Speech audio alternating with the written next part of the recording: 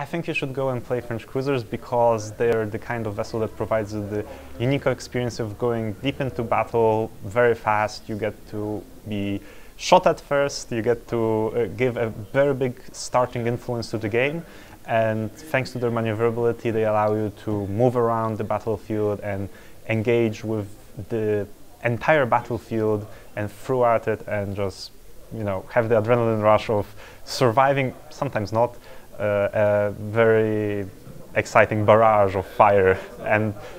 you could tip the balance thanks to your agility and the way that you uh, move around the battlefield.